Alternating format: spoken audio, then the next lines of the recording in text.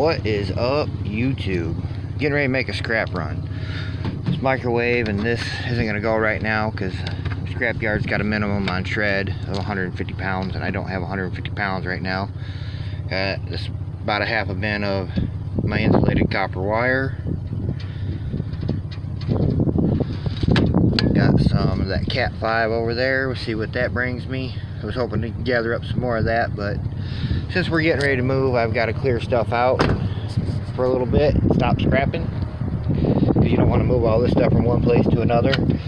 Uh, bags of aluminum cans that were given to me. Crushed those down and got them into fewer bags. Old aluminum antenna. Bunch of just other aluminum stuff I picked up. Uh, a couple electric motors in here and some uh, brass. Maybe a little copper. I think it's all brass though fuel, like I said, a few electric motors and uh, aluminum. Most of it's aluminum. We'll uh, run to the scrap yard and see what we get.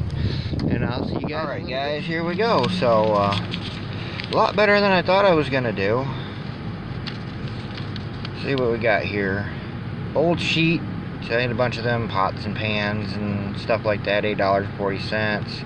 A little bit of stainless mixed in there for 88 cents um, 18 pounds insulated copper wire 1548 had a dollar 16 electric motors that was my good one there that little bit of the brass I had 16 pounds for 28 bucks 1530 in cans for 69.66 which pays me 70 bucks because they round to the nearest dollar that was a lot better than I thought it was going to be you know, I was expecting maybe 30 or 40 bucks tops. That's awesome. I like it. Turning trash into cash every time. Thanks for watching.